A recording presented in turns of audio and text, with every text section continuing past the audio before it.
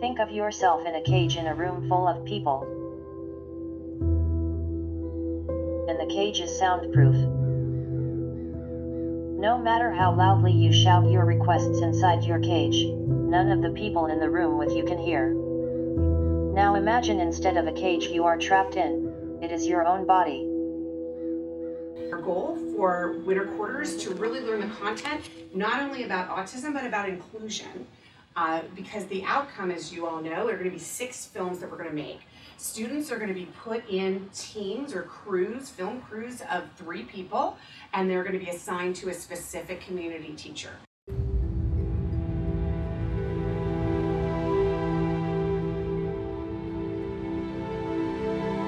Like the first few times, we didn't know how to communicate. Especially when um, their aides aren't there, we can't have conversation with them. When my communication partner was not available, it made me frustrated. I wish that I could have been able to talk.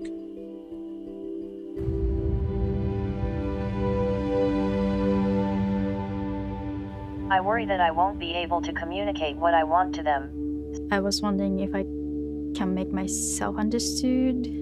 It's hard, and I get it wrong more than I get it right right now.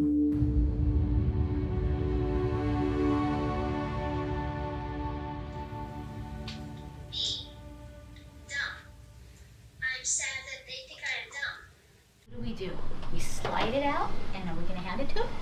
All right, so can you hand it to Mr. Ryan and then take him to his room? All right. It just it's so nice that we can just all just hang out. It doesn't have to be doesn't matter where we are, we're just hanging out. And it always feels good. Roll over on your stomach. Turn around! I want to go home. Turn around now! I want to go home. When I get there, Billy wasn't breathing. He was at 30%.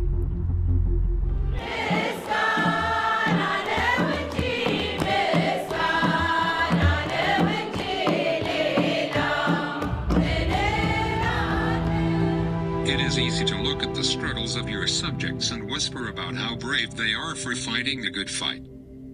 It is harder to share a laugh with them, or tell them about your dog, or ask if they know who is playing in the basketball game that night. I got so caught up in all the videos and the deadlines that I didn't really take enough time to get to know Dylan. Up until today, I thought I would never have friends. You have been so kind. Thank you Thank you for welcoming, welcoming us into your home and into your life. Yeah, you're thank so you. sweet. You're gonna make us cry.